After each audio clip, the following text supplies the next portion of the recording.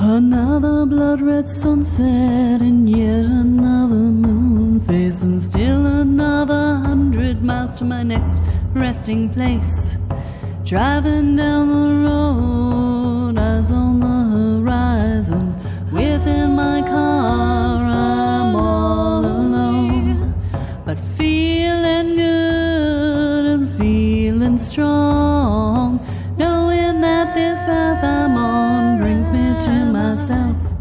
I'm driving. Hey now, all. This is Kelle Sparta, and you are listening to Spirit Sherpa, the show that helps and encourages you on your journey to unlock your magic mojo.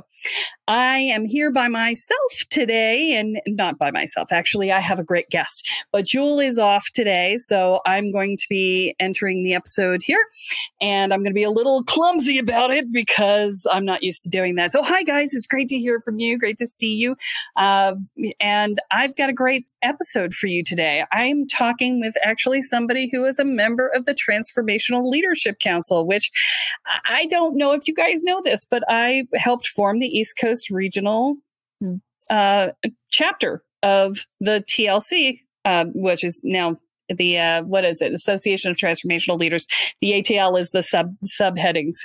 And uh, so we we were just bonding before we got on here about that. And so uh, the person we've got is his name is Kute Blackson. And he is a beloved in, inspirational speaker and a transformational teacher uh, he he speaks at countless events he organizes around the world as well as at outside events including A-Fest ypo which is the young presidents organization the Entrepreneurs Organization. And as I said, he's a member of the Transformational Leadership Council, the TLC. And if you don't know who those, those people are, you should go to transformationalleadershipcouncil.com and you'll find out. They're awesome. And uh, it's a select group of 100 of the world's foremost authorities in the personal development industry. Uh, he is the winner of the 2019 Unity New Thought Walden Award.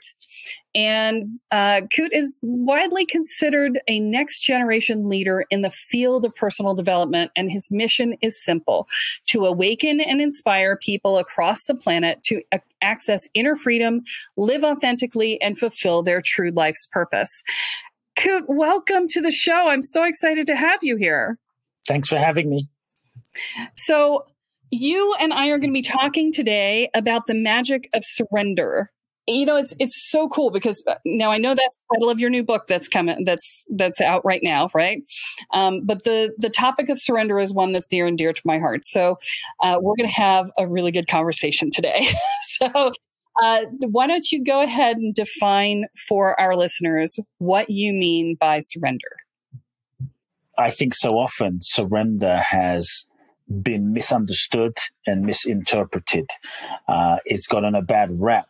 And so it's this thing that, well, we know we should do, but we resist and we run away from, like going to the dentist, right? You know, you should go, but you kind of don't want to go. And so there's this internal resistance. And so, um, part of my vision in writing the book was to reframe this concept of surrender so that people could understand that perhaps it's the most important and most powerful thing that we can do in our lifetimes. That surrender is the key to greatness. It's the key to the great ones. You look at Jesus, you look at Buddha, you look at Gandhi, you look at Mother Teresa, you look at Bruce Lee, you look at Muhammad Ali, you look at Bob Marley, you look at uh, Martin Luther King, you look at, I mean, so many of the great ones. At some point, they all surrendered themselves to life. They all surrendered themselves to their calling. They all surrendered themselves to their souls. They surrendered themselves to the true essence, you know, and in that surrender, they were able to transcend their human limitations and tap into a dimension of their being.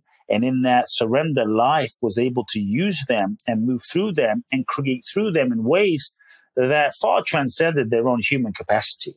And so to me, surrender is the key to the next level manifestation. It's the password for freedom. And so I think in our culture, we have this idea that surrender is weak, that surrender is passive, that surrender means giving up, that surrender means waving the white flag, that if you surrender, you're going to be left behind, that you're going to be a victim, that you're going to be a doormat, that if you surrender, you won't manifest your goals, dreams, and desires, that if you surrender, you're going to get less in life. But I'm actually saying, no, what if you surrender, truly surrendered, if you understood it and you didn't get less, but in fact, you got more, more than you could have envisioned and created and strategized with your limited ego's capacity to create what if you got more more love more joy more about like more maybe not what you expected or what you thought you wanted, but beyond that. And so to me, that's the magic of surrender. Magic is that which is beyond what you can even comprehend and visualize and know and expect with your conscious awareness. And so I think we all want magic, but very few of us want to surrender. And the password for, for, for magic is really surrender. And I think the degree of sur- the degree to which we surrender is the degree to which we open ourselves to the miracles and the possibilities of life. And so surrender is to let go of control, or I should say, the illusion of control that we think we are. Because I think it, in many ways, control is a, a master addiction. Now, I'm not saying we can't control how we respond to certain situations and the meanings we make up. But so much of our lives, we're not in control of what the government does, what the weather does, what people do, what other. Eh, eh, I mean, if we look at the last couple of years of pandemic, we started 2020 with all these plans, and boom, the world went to shit. And then what happened? And so, so much of it is not in our control. And, and, and so, control is the master addiction. Surrender is to stop trying to force and manipulate life to fit our limited idea of how we think it should be and who we think we should be, how we think life should be. And it's, to, it's to be available. It's to take the limitations off of life. In that openness, in that availability, in that surrender, we are open to the infinite possibilities. We're open to life. We're open to the universe. We're open to God. We're open to the, you know, to existence. We're open to, that's when we're truly open to magic because when we live in the paradigm of the ego, the perceived sense of who we think ourselves to be based on our past, our history, our conditioning, we're not able to see the total possibilities of an experience, of a situation, of why something is happening. We're very preset, preconditioned to see things a certain way. So we're not even available. So surrender is availability, is openness, it's allowing life to lead us. Um, the old paradigm of even in self help, it's all about know what you want, know what you want, and then go make it happen and hustle and push and just go create it. Like it's great. And I'm not saying you can't create a very good life based on the ego's motivation and drive. People have and people will and people will continue to. You can, but it's limited because the ego's perception is limited. And so many times you get what you thought you wanted only to realize that what you thought you wanted was just what you thought you wanted, not what you necessarily truly wanted. It was just what you thought you wanted based on who you thought you were. But if you weren't in touch with who you truly were, then many, then often, right, your goals will be a projection of who you kind of mistakenly think you are and projection of unmet needs. And then you get what you thought you wanted. You manifested it. Then you realize, wait a second, this is not making me happy. This is not making fulfilling me. It's, this is, this is an illusion. And so in surrender, let's call it a new paradigm that I really feel as a humanity, we are being invited into this new way of being. It's happening in front of us.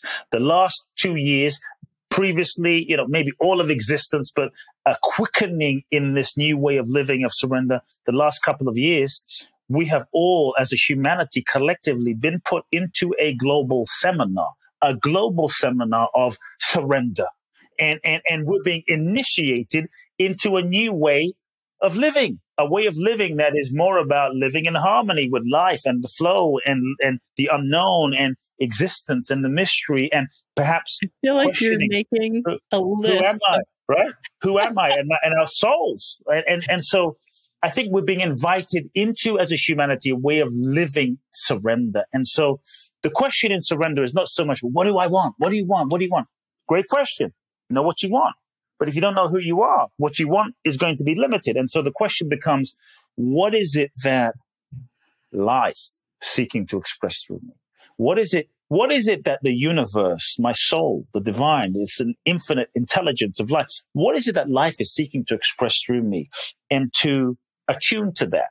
to feel into that so that we can truly be available to the deepest expression of what this intelligence of life that we are all a part of is seeking to express to us. And the more we can be available and open to that, then in that surrender, we're not limited to our own ego's capacity to manifest. Life starts manifesting and creating and expressing and speaking and moving through us. That's, I think, when the magic happens. And that's what I see with many of the great ones that we all have the potential of. And so that's the possibility of surrender in a nutshell. So, is that what you have done in your life? And if so, then tell us that story tell us how that happened for you because I can hear my my listeners and they're all going, "Well, this is great, but how? But how? But how?" They're all like the about how, right? Yeah. yeah. Look, I'll just start off by by by saying an honest confession is the magic of surrender was not the book I thought I was going to write. The the magic of surrender was not the book I wanted to write. I had all of these sexy ideas of the book I thought would sell, the book I thought would make money, the book I thought the audience would want, the book I thought my clients would want, the book I thought my avatar of, you know, potential clients would want, the book I thought publishers would want, the book I thought would be a New York Times bestseller. And, and I brained, I strategized clever ideas of books I thought would sell. I put the, all the ideas on a whiteboard on my wall. None of those, none of those brilliant ideas, but none of those felt right. None of those felt true. None of those felt authentic not one of them. The only word that stood out for me on this board was the word surrender. And I thought, oh shit. But I, you know, uh, writing about surrender, people, you know, like, ah. But, but if I was honest with myself, it's the only word that felt real and in my integrity.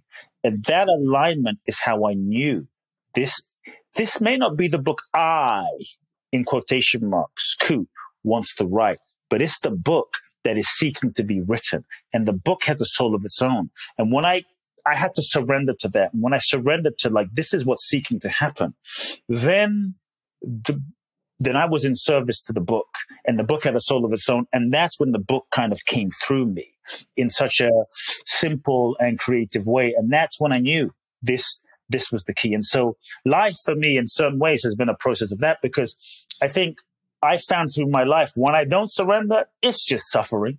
When I don't surrender, life is just grueling.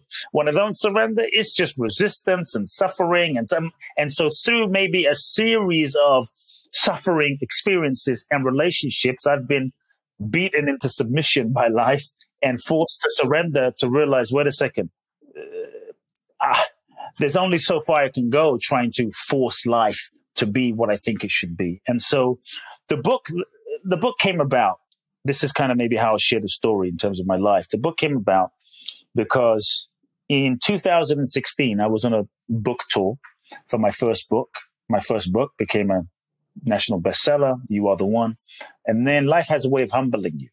I get a phone call the end of the year, 2016, going into 2017, that my mother who she was the closest person to me, love of my life. You know, she raised me with everything, with so much love. Um, true blessing to know that kind of love. I was told she was diagnosed with stomach cancer, which devastated and broke my heart. Um, a very challenging moment. And so this was like the worst year of my life. And so I was in LA. She lives in London. I, I began to fly back and forth between LA and London every month. I had every intention I was going to go back and I was going to heal my mother. Green powders, green juices, you know, supplements. I was going to get her well and heal her. This was my intention. No questions asked. And after about three months of trying to force things to be and force her to take her supplements and force all these things, uh, I'll be honest, I soon realized I don't think she's going to make it. And, and something happened. I had to begin surrendering to the possible, the possible. I was open to miracle, but the possible realities that might happen, which she might not make it. And and when I surrendered and ex- accepted and surrendered that she might die, and no amount of prayer and Reiki and energy work and meditation and green powders and green juices were going to save her. Eh, who knew?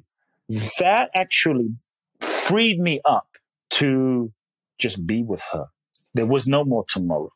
There was no more future. It just freed me up to just be with my mother fully. That like this could be the last conversation. This could be the last cup of tea with her. This could be the last breakfast with her. There was no more like hope or there was just this moment right now. And every moment became so sacred. And I remember when the doctors like officially confirmed six months into it, they said, there's nothing else we can do. Basically, they said you're going to die and get your affairs in order because it could be days, weeks, or months, but definitely not years. That's when I knew, like, oh shit, this is this is real. You know, I'm open to a miracle, but this is it. And and I looked my mother in the eyes, and this is when I realized the seed of the book was planted as well. I looked my mother in the eyes, and I said, "Are you afraid?" And my mother said, "This my mother's Japanese, little Japanese woman." My mother said, No, I'm not afraid because I know I'm not this body. This body is just a temporary vehicle for my soul. That even when this body passes away, what I am, I'll be here and I'll be with you, guiding you. And I felt such a, you know, transmission of her conviction. Then I looked to her and I said, Mom, is there anything I can do for you to, I want to be a good son? Is there anything I can, where do you want to go? What do you want me to buy you? What, what, what, what do you need? What do you want? And she looked at me with such clarity and she said to me, there's nothing I want and there's nothing I need. The only thing I want, the only thing I want is what God wants for my life. And in that moment, I knew that she was free. In that moment, I felt the transmission of real surrender. People think, oh, surrender is for the monks in the Himalayas. Like simple woman in a real life or death situation, I saw that she was surrendered. And this is why she was at peace. She wasn't attached to living. She wasn't attached to dying. She was, op- she was genuinely open to whatever the highest unfolding of her life was. And that was her freedom. And I saw that this entire year, she wasn't crying. She wasn't resisting. She was just like, I'm open to the highest. And that was her freedom. And that was the power of surrender. And so that really inspired me in such a profound way. And so what I will say, and then I'll share a bit more of my story, but what I will say is people often say, well, how do I surrender? Like, how, what, what do I do? What people sometimes think that acceptance is surrender and it's not. First, I had to accept, okay, she might die. Okay, she's going to die. But many times you hear about books, accept what is, accept you can be in acceptance, but still be subtly resisting. You can be in acceptance and not be surrendered. Surrender is the full open hearted participation to the process of life. You roll your sleeves up and you're like, you're not just in the rain with an umbrella, pissed off and mad, like, shit, why is this umbrella? And, you know, it's like, I wanted to go snow, uh, swimming in the ocean to the beach and there's a, there's a damn snowstorm. Surrender is when you say, you know, okay, there's a snowstorm. I don't freaking want a snowstorm, but how can we use this? How can we use this experience for our highest good? Maybe we go have a family dinner and everyone stays inside. Maybe we go freaking skiing outside. Like, how do we fully surrender and embrace the experience that's happening for our highest good? And, and, and, and, and experience this. To me, that's what surrender is. Between acceptance and surrender, there is a phase in the middle that most people miss. And this is why surrender doesn't happen. Even many of us in the spiritual self help field, you know, we miss this phase because we want to stay in a high vibration. We want to be positive and we end up doing a spiritual bypass. Between this acceptance and surrender is a phase. It's grieving. Many people don't allow themselves to fully grieve. Surrender is a death. Surrender is a kind of death of the ego. It's a death of who you thought you were. It's a death of a dream. It's a death of a phase of one's life, like from, from youth to 20 to 30 to 40 to the idealized version of yourself. Surrender is a death of a relationship. It's a death. And in any death requires us to honor what was so we can truly release the emotions of what was and open ourselves to what can be. But when we don't fully allow ourselves to grieve, so I would ask everyone to sit with what have you not fully grieved? Because when we don't fully allow ourselves to grieve, we suppress that emotion. We suppress that pain. Like my relationship has ended. I don't fully allow myself to grieve. I suppress that feeling. I go into a new relationship. And how do I surrender to a new relationship fully, even if I'm in it, if I haven't let go of the, those layers and calluses of hurt and pain and resentment and, and grieving? So surrender requires a grieving. Many times we don't allow ourselves to grieve because we do a spiritual bypass. We want to stay law of attraction, stay in a low, high, high vibration, but not realizing all feelings remain present till fully felt. And so sometimes we don't allow ourselves to grieve because we think that If I feel the feeling, it will never end. If I feel the feeling, I won't be able to cope with it. It'll be too much. And so we suppress it and we just keep ourselves stuck.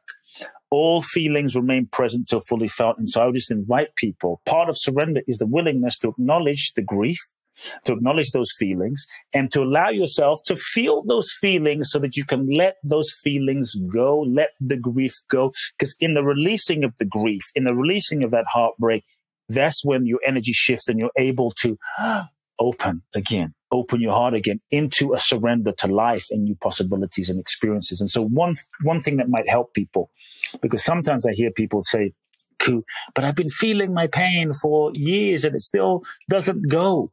Here's a mistake. Many times I see people thinking that they're feeling their grief or their pain, but they're actually thinking about the feeling, not feeling the feeling. And that's what keeps them stuck. And so to actually, I tell people, take the label off of the feeling, stop analyzing it, thinking about it, pushing it away, trying to get rid of it, NLP it away, just, and allow yourself to be with the sensation of the grief in your body. I call that sitting in the soup of the emotion. And when you can actually purely, and that's different from wallowing, like, oh, it's, it's, it's being, being with the sensation without resistance or judgment.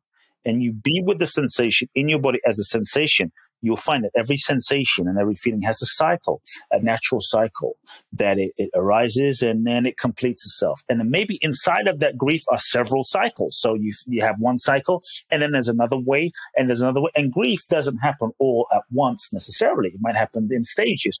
But when we're able to be with that grief sensation, the soup, right, fully, that layer dissolves and, and then the openness can happen. And so surrender, I feel, is actually the most natural thing for us.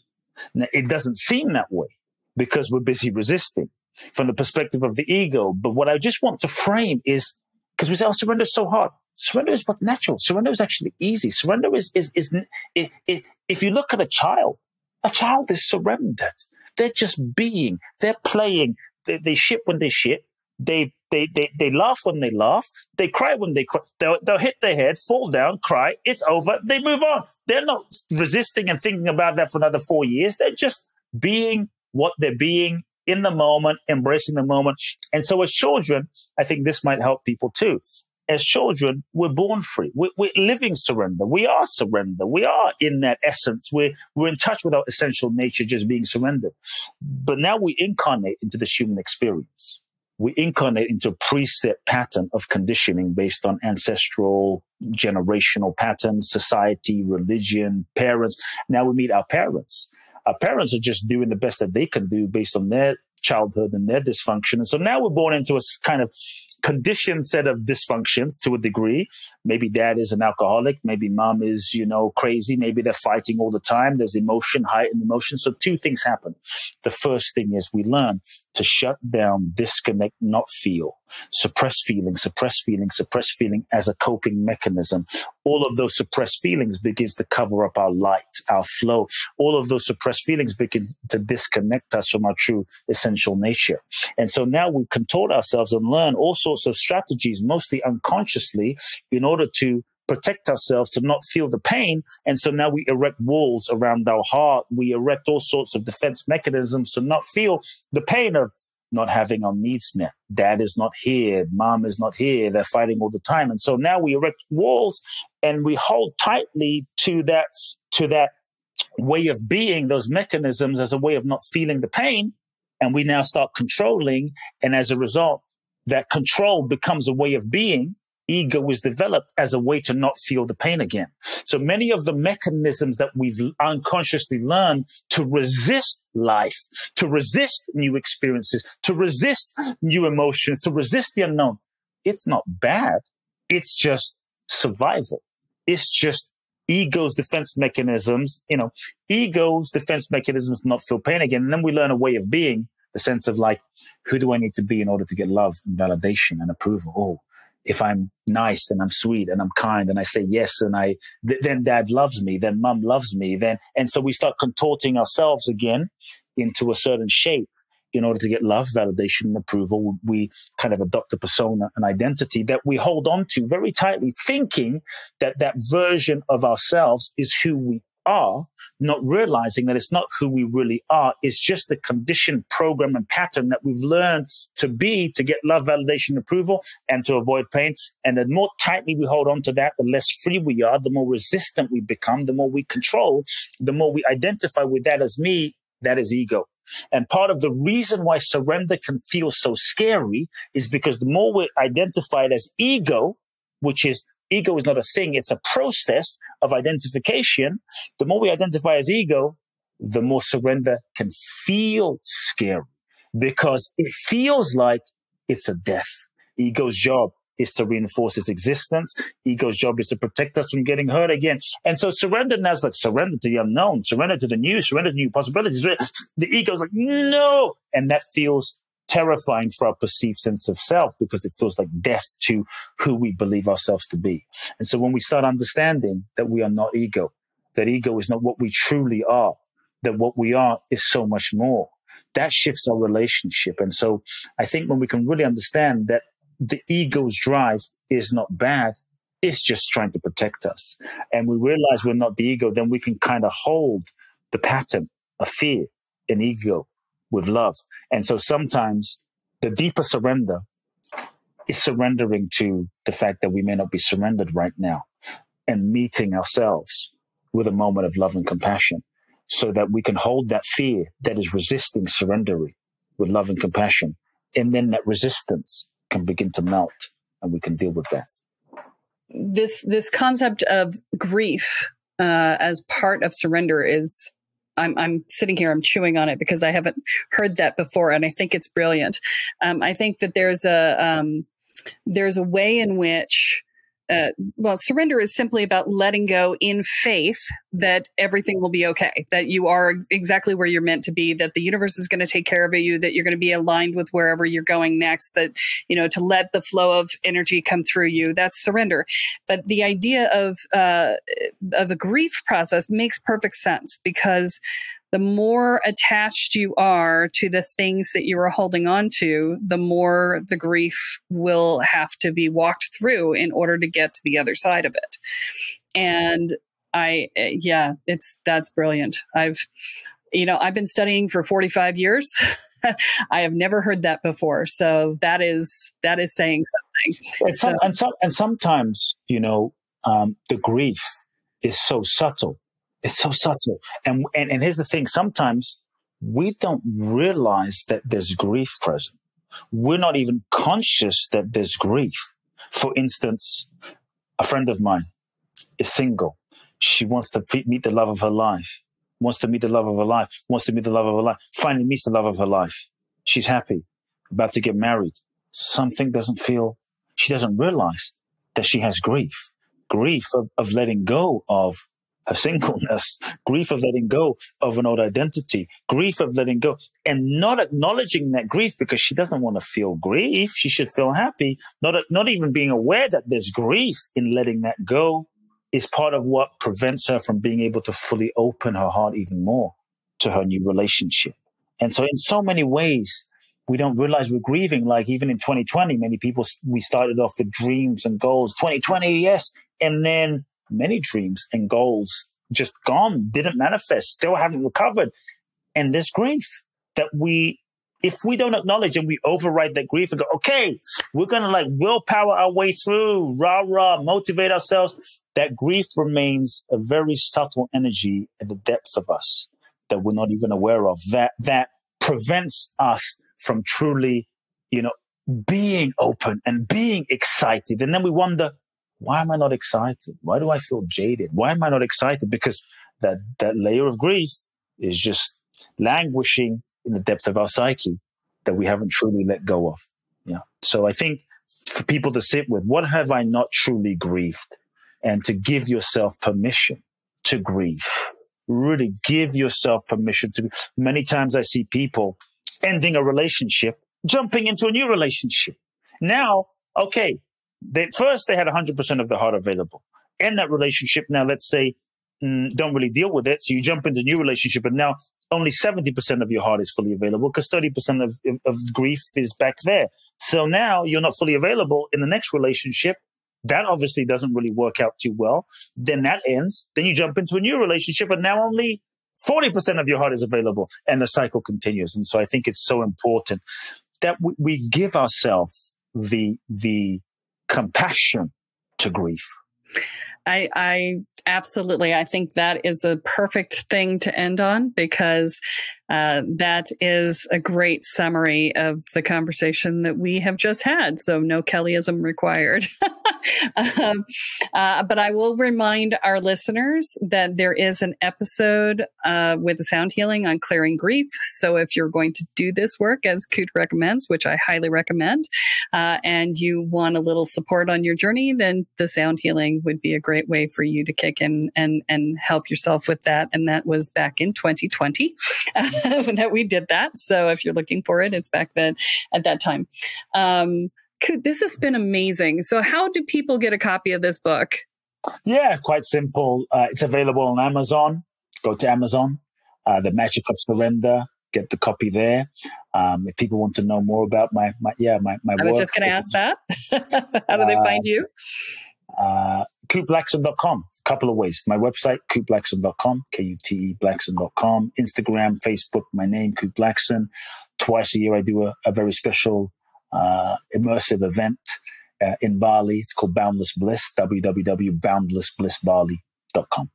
Awesome. And all of those links will also be in the show notes. So if you're driving, don't panic.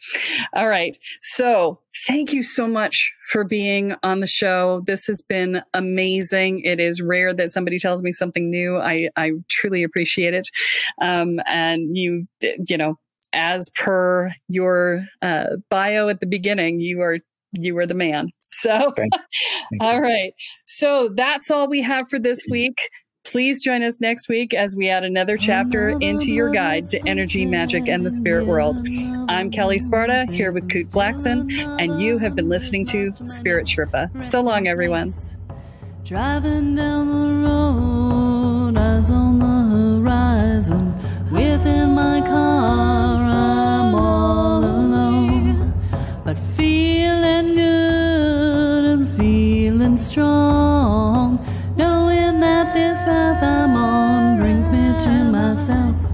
I'm driving.